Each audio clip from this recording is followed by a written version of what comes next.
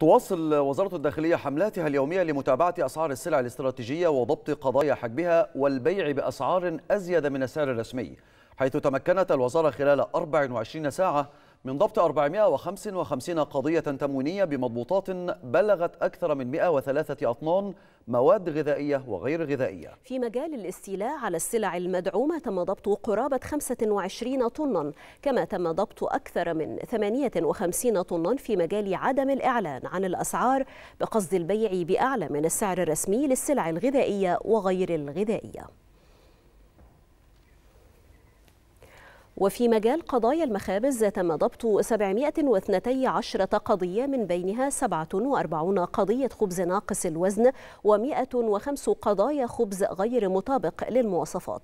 أما في مجال ضبط مخالفات التلاعب بمنظومة توريد وتداول القمح المحلي تم ضبط 17 قضية بمضبوطات بلغت قرابة 72 طن أقماح محلية.